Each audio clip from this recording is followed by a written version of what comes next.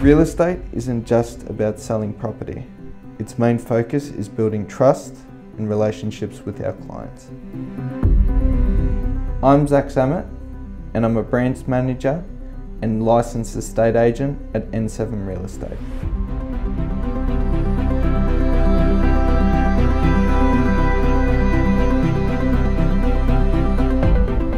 I've been working in the industry since 2016 and helped many people take their next step in selling their properties and securing our buyers with their dream homes.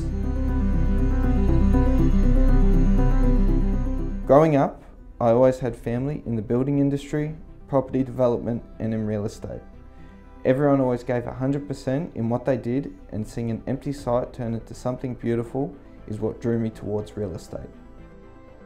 I've always strived to achieve the best service for all of our clients. This includes early mornings, late nights, inspections, phone calls, face-to-face meetings, as this can be the most important decisions our clients will make.